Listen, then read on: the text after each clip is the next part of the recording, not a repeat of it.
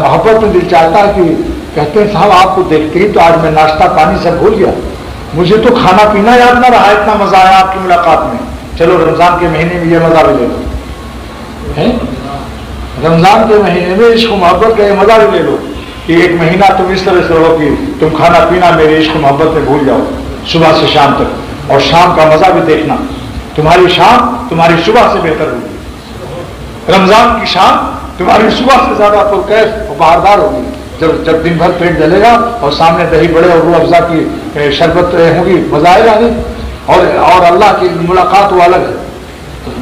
रोजेदार को दो मज़ा अल्लाह देते हैं। एक तो रोजा खोलने के वक्त में और दूसरे जब मुलाकात होगी अल्लाह ताला से। और तीसरा एक मज़ा और है कि कयामत के दिन जब हिसाब होगा तो रोजेदारों से अल्लाह फरमाएँगे, आओ तुम लोग मेरे अर्श के साय में, हम तुम्हारे लिए बिरयानी की दावत करते हैं। तुमने रोजा रखा था।